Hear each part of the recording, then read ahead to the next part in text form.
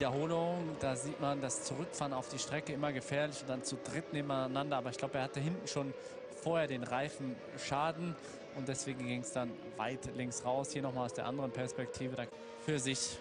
So, jetzt hier ganz eng, da geht's raus und dahinter wird es dann einfach zu eng. Man sieht, dass hier die Fliehkräfte